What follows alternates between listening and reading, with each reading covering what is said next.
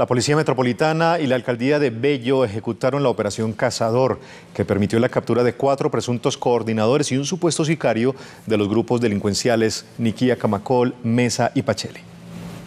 Las labores de investigación e inteligencia permitieron realizar cuatro allanamientos. Se ubican estos cinco delincuentes, se logra la incautación de tres armas de fuego, más de 30 cartuchos de diferentes calibres, igualmente dos proveedores.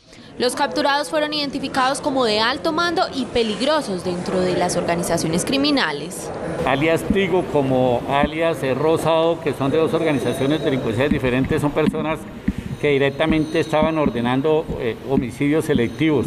Igualmente en el grupo delincuencial Pacheli se captura a alias El Indio. La colaboración de los ciudadanos fue indispensable. Esta operación se logra gracias a información que nos da la ciudadanía con base en el programa eh, de recompensas que tiene el municipio, eh, hasta 50 millones por la información. En lo que va del año en el municipio de Bello se han capturado 462 personas y se han incautado 77 armas y 308 kilos de estupefacientes.